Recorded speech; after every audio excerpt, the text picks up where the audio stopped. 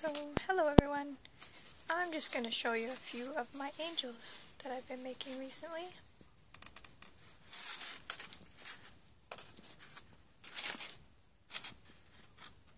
This one's going to one of my beautiful friends, Hillary.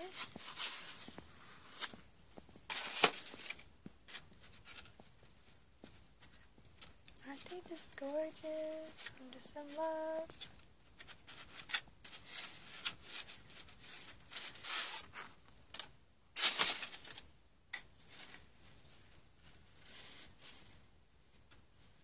So full of life. I love it.